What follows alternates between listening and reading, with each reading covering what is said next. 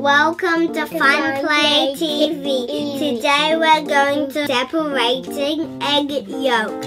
Let's start. Okay, Google. How do you separate an egg with a bottle? The method is simple. You crack an egg into a bowl, squeeze an empty plastic water bottle slightly, and place the bottle opening over the yolk. I'm gonna squeeze the bottle a little bit, put it on top of the egg, and then gently let go. Ta-da! And then if I gently squeeze it.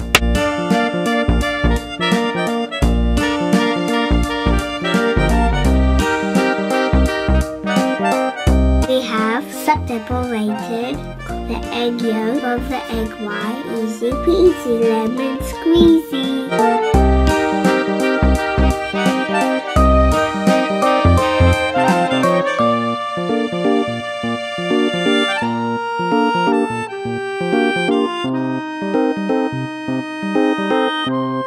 Thank you for watching Fun Play.